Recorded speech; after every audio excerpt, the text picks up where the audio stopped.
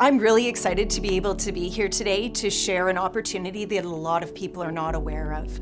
One in eight Canadians have somebody within the family who's touched by a disability. And we offer at Mackenzie the Registered Disability Savings Plan, or RDSP, that can greatly benefit some of these individuals.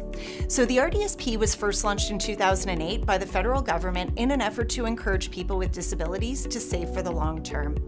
In order for a beneficiary to be eligible for the RDSP, they must be a recipient of the disability tax credit, have a valid social insurance number, uh, they have to be a Canadian resident, and they're able to open the account up until December 31st of the year they turn 59. So when the government created the RDSP, they also created the Canada Disability Savings Grant, which is a matching program, and the Canada Disability Savings Bond, which is meant for low-income families. These are amounts that can be contributed to the account and really help increase the value of the account in a relatively short period of time.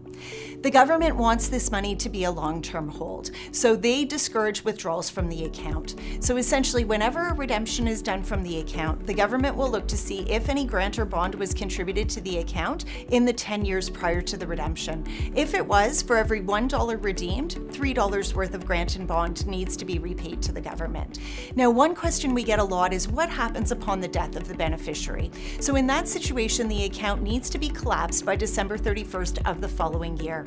Any grant or bond that was contributed to the account in the 10 years prior to the closure of the account needs to be repaid to the government, and then the balance of the account is paid out to the beneficiary. If the beneficiary had a will, then it would be distributed as per the will, otherwise it'll follow the rules of intestacy in their province.